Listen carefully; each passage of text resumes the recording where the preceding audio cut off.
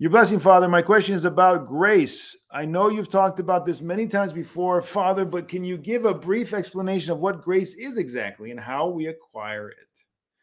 There was an incident where I had mentioned there is no grace outside the Orthodox Church, and someone was scandalized by my comment and assumed I had said there is no salvation outside the Orthodox Church. When I told that person that I said grace, not salvation, they basically said it's the same thing. This person is Orthodox, and to be honest, the convert, conversation didn't end well. He is a convert and has family that repose outside the Orthodox Church, and basically took that as opportunity to tell me that what I said is wrong by church standards and teachings. Your input on this matter would be much appreciated, Father. All right. So let's start with the definition of terms here. Grace. Well, grace literally means gift in Greek. Ichari to through, right? Chari is to be a gift. It's a gift from God. But what does God give? He gives himself. So grace is God himself. It's the what we call the divine energies. we oftentimes refer to the grace of the Holy Spirit or the Holy Spirit, and we mean the divine energies of God that are that are sent and we communicate and we commune with God in his divine energies. So this is divinity. We're communing with divinity. So grace is God himself, the presence of God. And it's not something created, it's uncreated. It's God himself. So that's the first thing. Secondly, when he said it's basically the same thing, he's he's right and wrong at the same time. So, is there grace outside the church? Well, is God mm. presence outside the church? Yes and no. Of course, He's present everywhere and fills all things, right? We say that prayer every day, don't we? We should. O Heavenly King, O Comforter, the Spirit of Truth, who fillest all, who are everywhere present and fillest all things, treasury of blessings, giver of life. Okay, so life, creation, our existence itself, no matter who you are, is predicated upon the presence of the grace of God. Nothing exists, nothing operates in creation without the grace of God. All right, so he's everywhere present, fills all things. So, what's the difference? Why become an Orthodox Christian? Because the divine energies, the actions or operations of the grace of God are not the same for everyone. There are presuppositions. Learn that term, it's very important. Everybody needs to understand everything has presuppositions. We presuppose things, we don't always name them, but we know they're there. And we know that they have to be there for that other thing to be real and fruitful and all the rest. All right, so Grace exists here and there. There's a difference, though. Is there a difference in grace? Yes and no. It's the same Holy Spirit, same presence, but the operations, the actions, the activity is different based on the presuppositions. And what is that? When you enter the church, when you embrace Christ in the church, you are baptized, chrismated, and communed, then the divine energies or operations or presence of God as purification, illumination, and glorification, those things which sanctify, those things which happen in the mysteries, those that presence of God is only in the church. Because it presupposes your free desire and and acceptance of God. It presupposes you not that, that he's knocking, but you open the door.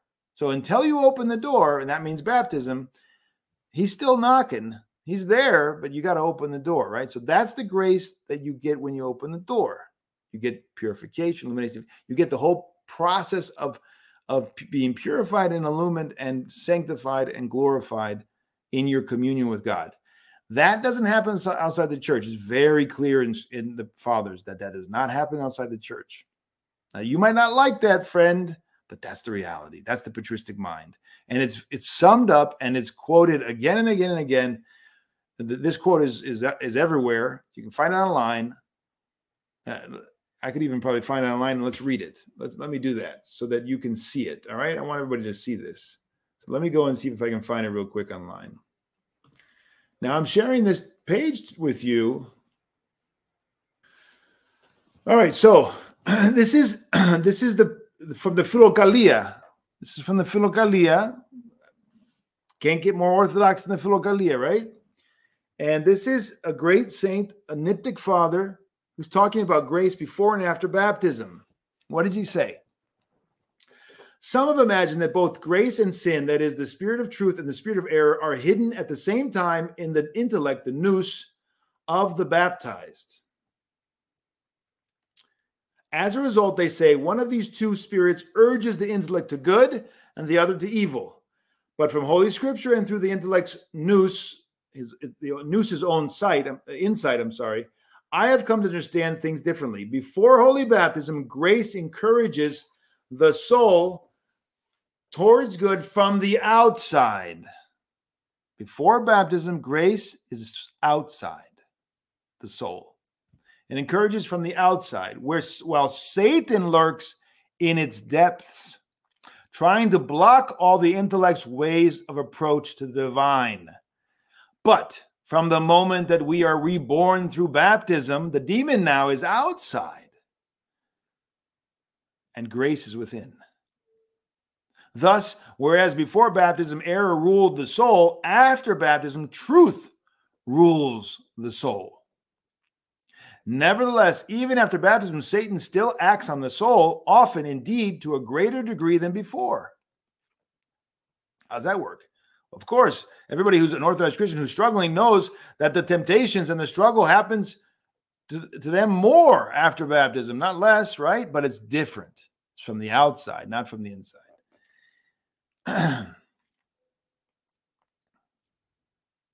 this is not because he is present in the soul together with grace. On the contrary, it is because he uses the body's humors to befog the nous with the delight of mindless pleasures. So now he comes and he's outside and he titillates the senses and he tries to get you to give give yourself over through the senses. That's why there's so much focus in St. Nicodemus and other writers on the senses to protect your senses, to guard your senses, right? Because that's the avenue by which the devil now works to bring you into sin. God allows him to do this so that a man, after passing through a trial of storm and fire, may come in the end to the fulfillment of divine blessings. He allows that for us. And that's why the saints say, Oh my gosh, if I don't have temptation, God has abandoned me. Did you know that? That's what they say in the Gerontikon. It is a normal state of a Christian to have external, not internal, but external temptations, problems, uh, challenges, not because they want it, but because it's allowed by God. Okay, there's a difference. If you bring it upon yourself, God's not at fault. But if, if you walk according to God and things come at you, then that is normal. For it is written, We went through fire and water, and thou hast brought us into a place where the soul is refreshed. As we have said from the instant we are baptized, grace is hidden in the depths of the intellect, the nous, concealing its presence even from the perception of the nous itself. Isn't that amazing? Think about that. Concealing its presence even from the presence the perception of the nous itself. Even the nous, your intellect does not perceive the grace that is hidden in the depths from the moment that we are baptized. When someone begins, however, to love God with full resolve, then in a mysterious way, by means of the nous's perception, grace communicates something of its riches to its soul. This is exactly what I was taught by my elders and my fathers in Greece. And, and, and Professor Tselengidis would go on and on about this. That what what is what's got to happen here is that the love of God has to fire up in the soul and then what happens is that kingdom of God, which has been given, that grace, the, the presence of God, which has been given, and it's mysterious, hidden in you, it starts to manifest itself. And all of that garbage that you've been feeding your soul starts to come out, and you just have to smell the stench, right? You're being purified. You're going through this purification process. Then, if he really wants to hold fast to this discovery, he joyfully starts longing to be rid of all his temporal goods so as to acquire the field in which he has not has found the hidden treasure of life. Of course, we're talking about the Lord's re- reference to the, the, the field in which the treasure is hidden. And that's the heart, that's the soul. This is because when someone rids himself of all worldly riches, and he doesn't mean just money here, he's talking about pursuits and loves and all the rest, right? When you rid yourself of all that, you're not living for that. He discovers the place where the grace of God is hidden. For as the soul advances, divine grace more and more reveals itself to the intellect, the nous, not the rational, not the rational intellect, not the dianoia, the nous. During this process, however, the Lord allows the soul to be pestered increasingly by demons. The Lord allows that. Don't be afraid. Don't be sad. It's God's hand that you have these, these temptations coming from without. This is to teach it to discriminate, to discern. See, discernment only comes through experience, brothers and sisters. You have to have a struggle to become discerning, to discriminate, to discern correctly between good and evil, and to make it more humble through the deep shame it feels during its purification because of the way in which it defiled it is defiled by demonic thoughts. Pay attention here.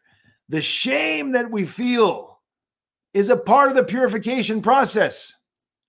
It's a sign that we're being purified. Read that again with me. This is to this this struggle that is allowed is to, dis, to teach discernment so that we know and discern the spirits. This is the sign of an Orthodox Christian. You can discern the spirits. This does not exist anywhere but in the church and to make it more humble through the deep shame it feels during its purification because of the way in which it's, it is defiled by demonic thoughts. We should feel that deep shame and it humbles us extremely. And we should pray for that. Lord, humble me exceedingly. Humble me exceedingly that I might see myself and who I am. It's a beautiful thing. It's a beautiful thing to see yourself, to see your sins, to see your passions.